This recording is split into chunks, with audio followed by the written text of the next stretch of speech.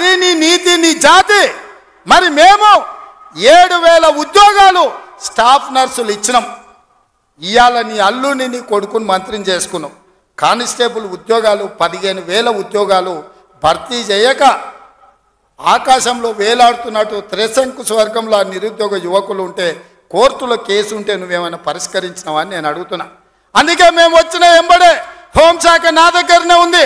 డీజీపీని ఇతర అధికారులను పిలిచి సమీక్షించి వేలాది మంది నిరుద్యోగ యువకులు ఈ రోజు నిరుద్యోగులుగా అమీర్పేటలోనో లేకపోతే అశోక్ నగర్ చౌరస్తాల్లో దిల్సు నగర్ చౌరస్తాల్లో ఇంటికెళ్ళి తల్లిదండ్రులకు మొహం చూయించుకోలేక నిస్సారంగా జీవితం గడుపుతున్నారు.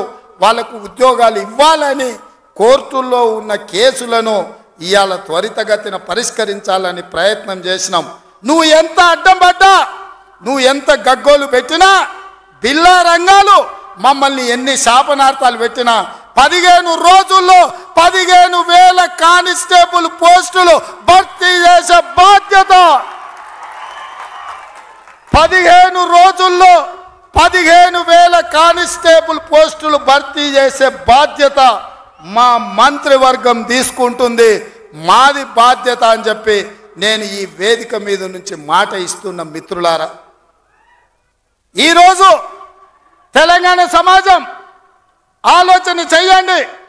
ఈ తెలంగాణ రాష్ట్రం ఎవరి చేతిలో భద్రంగా ఉంటుంది? ఈ తెలంగాణ రాష్ట్రం త్యాగాల పునాదుల మీద ఏర్పడ్డ ఈ రాష్ట్రం ఎవరు భద్రంగా కాపలా కాస్తారు? ఎవరు భద్రంగా ఈ రాష్ట్రాన్ని అభివృద్ధి పదం వైపు నడిపిస్తారో మీరు ఆలోచన చేయండి. మేము వచ్చే అరవై రోజులు కానే లేదు రెండు నెలలు ఇంకా పూర్తి కాలే ఏడు తారీఖు వస్తే రెండు నెలలు.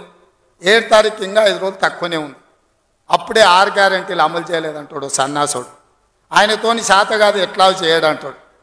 పిల్లి శాపనార్థాలకు ఉట్టి దిగిపడుతుందా వీళ్ళ పొంకనాలు కాకపోతే పదేళ్ళలో మీరు ఏనాడైనా పేదవాళ్ళ ఇంటికి